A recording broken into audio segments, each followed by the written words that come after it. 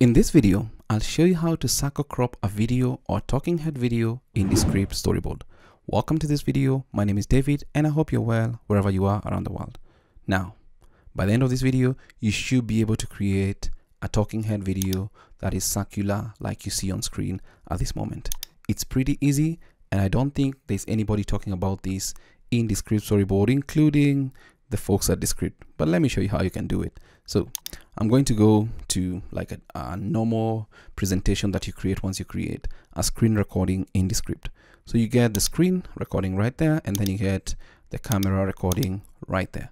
We want this kind of square or rectangular whatever uh, screen recording or recording you have into a circular talking head.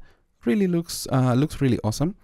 Uh, and by default the first thing we might need to do is we might need to crop this out. So let's just double click on this.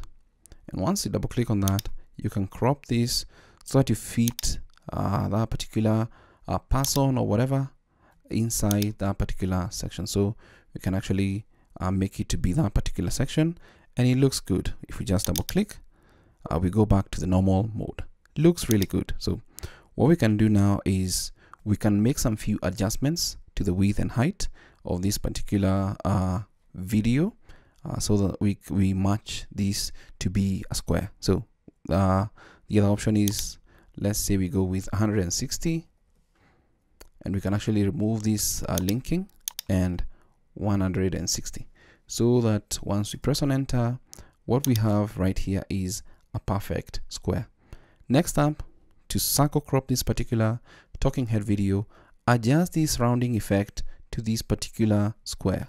So we can adjust it to the right. And what you start seeing is we start getting a circular talking head.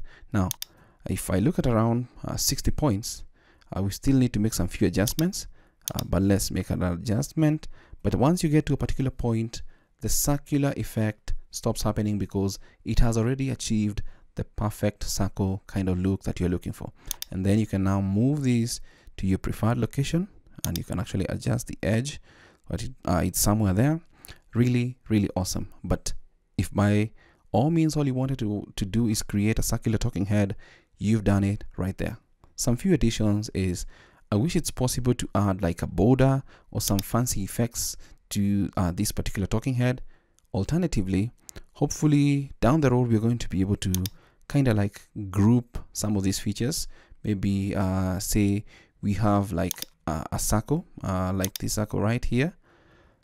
Uh, just maybe we kind of uh, move it backward. And then we can just try and see if it fits the way we want it to fit. And then have have it uh, done a different color something like that. Hopefully in future it's going to be possible to kind of uh, just have these let's just move this somewhere right about there with the arrow keys uh, such that it fits inside there. So uh, grouping these would really come in handy for you to create an effect like a border effect uh, in Descript storyboard. But simply put that is how you can circle crop a video or a talking head video from your screen recordings in Descript storyboard. Really awesome really easy. You watched it here first. Kindly go try it out and I'll see you on the next video. Thank you so much for watching